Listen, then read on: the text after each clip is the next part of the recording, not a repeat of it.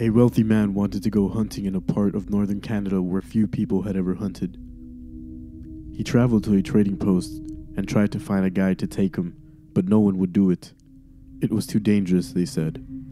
Finally, he found an Indian who needed money badly, and he agreed to take him. The Indian's name was Defago.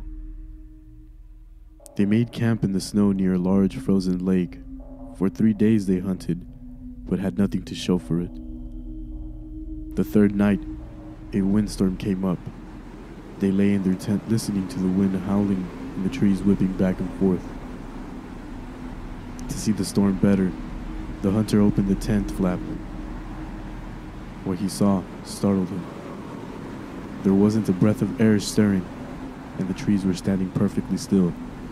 Yet, he could hear the wind howling. And the more he listened, the more it sounded as if it were calling Defago's name.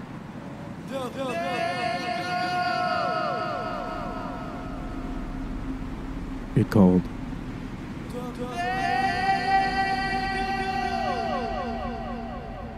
I must be losing my mind, the hunter thought. But Defago had gotten out of his sleeping bag. He was huddled in the corner of the tent, his head buried in his arms. What's this all about? The hunter asked. It's nothing, Defago said. But the wind continued to call to him, and Defago became more tense and more restless.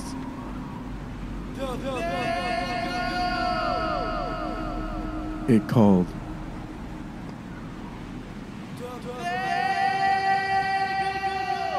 Suddenly, he jumped to his feet and began to run from the tent. But the hunter grabbed him and wrestled him to the ground. You can't leave me out here! The hunter shouted. The wind then called again, and Defago broke loose and ran into the darkness. The hunter could hear him screaming as he went. Again and again he cried, Oh, my fiery feet! My burning feet of fire! The voice faded away and the wind died down. At daybreak, the hunter followed Defago's tracks in the snow. They went through the woods, down toward the lake, then out onto the ice. But soon, he noticed something strange. The steps Defago had taken had gotten longer and longer.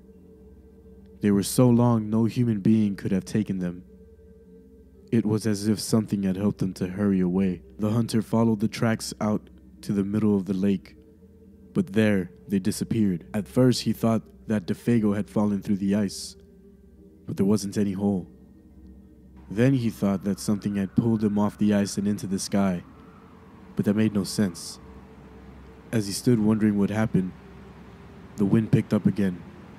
Soon it was howling as it had the night before. Then he heard Defago's voice. It was coming from up above, and again he heard Defago screaming.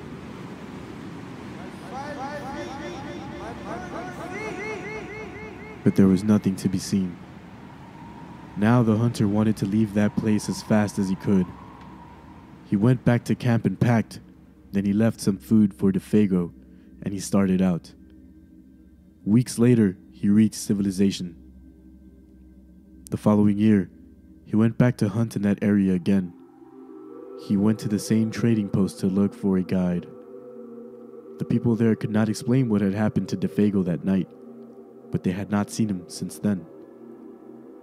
Maybe it was the Wendigo, one of them said, and he laughed.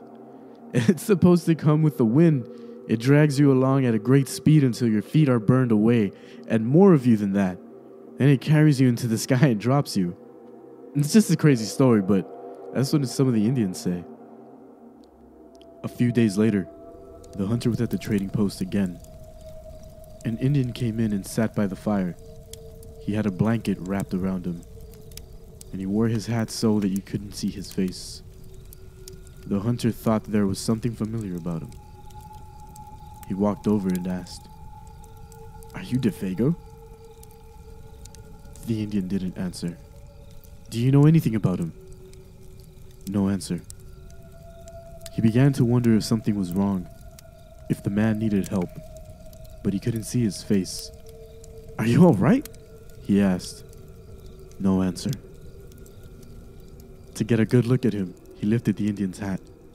Then he screamed. There was nothing under the hat but a pile of ashes.